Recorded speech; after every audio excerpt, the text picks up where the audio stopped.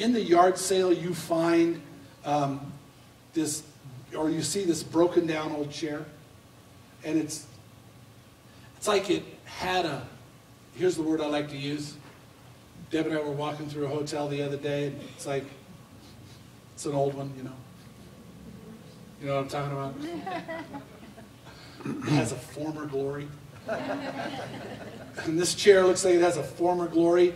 It's like one person sees a piece of junk, and another person sees, oh man, gold. You know what you could do with that? Look how ornate that is. What if you just, right? That's what I want to talk about today. So there was a confirmation from the Lord. so grab your Bibles, turn with me to John, the very last chapter, chapter 21. I want to talk about the restoration of Peter. And I want to admit to you right up front that um, I've preached this passage probably, I, I, touched it here before. I don't know if, as I've ever really preached through it, but the 21st chapter of the book of John is about Peter uh, and Jesus coming and seeing him restored. And I've preached it a number of times in the past. And the truth is, I, I've probably preached some of this wrong through the years. And so I want to bring some corrections to myself and to give you guys hope about what it is this passage of Scripture truly is about. So, there's no slides, so let me just tell you uh, there's three points to my sermon. Write these down, and then you can fill the stuff in as we move along, okay? So, I'm going to talk about God's inconceivable goodness. Inconceivable. How many of you are like uh, fans of The Princess Bride? How many of you have watched that more than 10 times in your life? Don't you just love inconceivable? Sorry. If you haven't watched it, get it. It's it's so much better than so much of the trash that's out today. Sorry. But anyway, this my second point is going to be leave some space. Unexpectedly personal. God is inconceivably good. He is unexpectedly personal. And my third point is going to be overwhelmingly merciful and gracious. Overwhelmingly merciful and gracious. so, let me read. I'm going to start in the 15th verse. We'll cover uh, some of the stuff in verses 1 through 14 in a minute here. But this is what the word of the Lord says.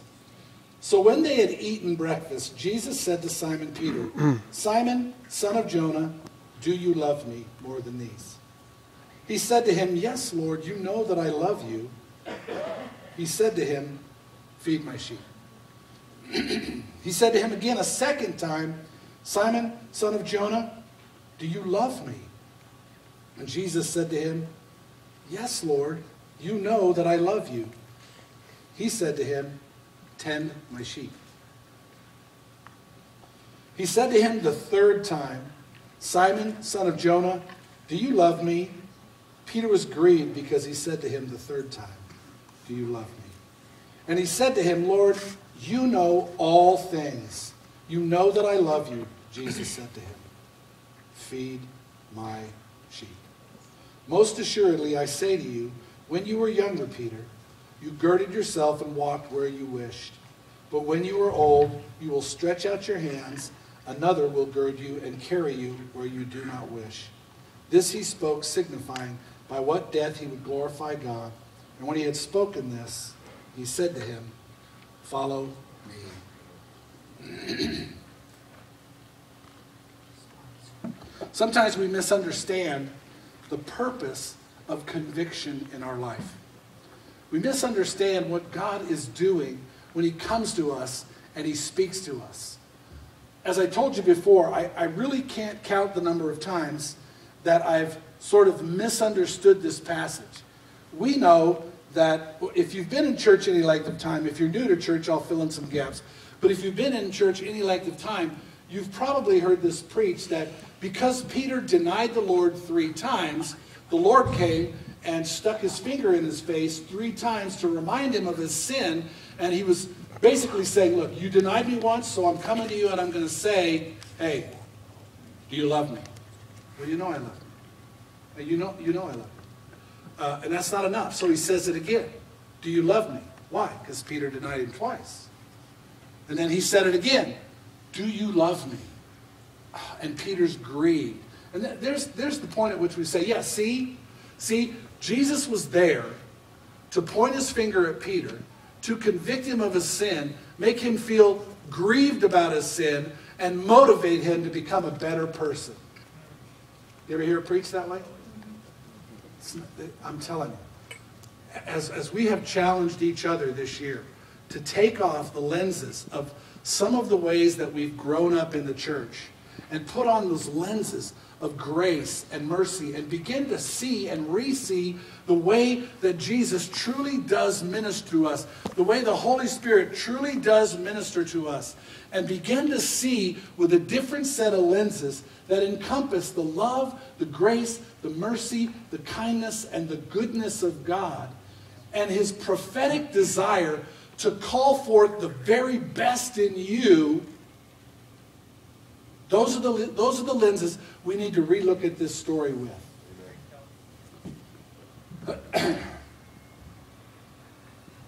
so, there's a misunderstanding sometimes. The purpose of conviction is not to make you feel bad about yourself. Put on the new lenses. Jesus came to Peter to restore him, not to judge his failure. Write that down. That's why you left a space. Jesus did not come to point out Peter's failure. Do you know why? We'll tell you. Because the enemy was already beating Peter up with that. That's why Peter was grieved. He wasn't grieved because Jesus was making him feel bad. He was grieved because he was partnering with a lie. We'll get to that in a few minutes. I really do believe you'll see something here that will transform your life. How do we know this? Jesus said it, he said it himself. He said, I did not come into this world to condemn the world, but to bring what? To bring life and life more abundantly. There's so many passages that you, your pastor has preached in the past. 30 years I've been at this, man. And you know, you, you leave Bible college and you just got this kind of like prophetic edge to you and you, you want to just tell everybody what's wrong with them and you know, you know Jesus came and he died for you to change your miserable, sorry, no good for nothing, sinning carcass. Right? And some well-meaning guy goes, yeah, that's right. You got a prophetic edge to you. No, that's an Old Testament prophetic edge. We prophesy on this side of the cross, on this side of grace, on this side of an understanding of his mercy and love.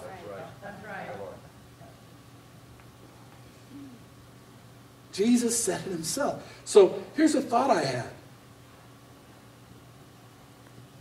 How much personal, okay, I'll use a big word, sanctification. Just draw a line through the word now. That's for you. How much personal work does it take to get into God's good graces?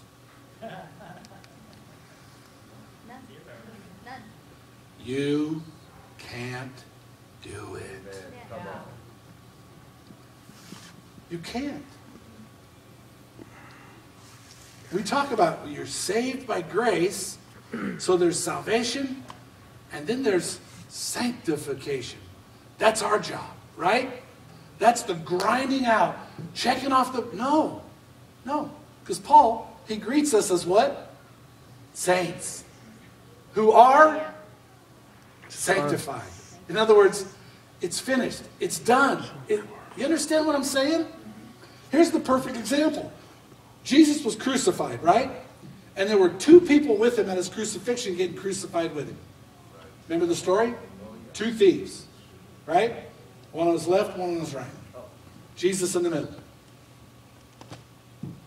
How much work, how much of the process of sanctification did the thief that went to heaven have to do to get there?